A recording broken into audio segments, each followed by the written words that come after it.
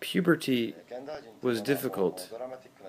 It was very difficult for many of the villagers, but specifically, I had a hard time dealing with my father.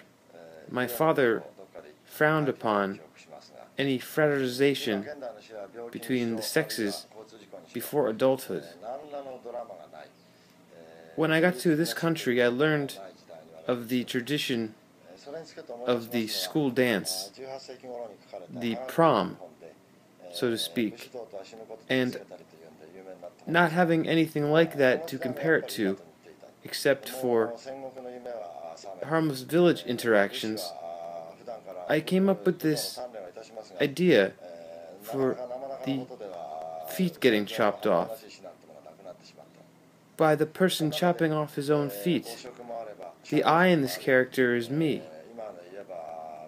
When you feel helpless, you sometimes feel without limbs.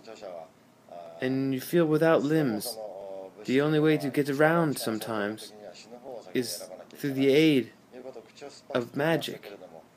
This is the amphibians. My father has long since passed on, and we did not have mildew in our village. Although it was very wet and damp, it was not a health hazard, and I have no real problem with amphibians as pets in, in general.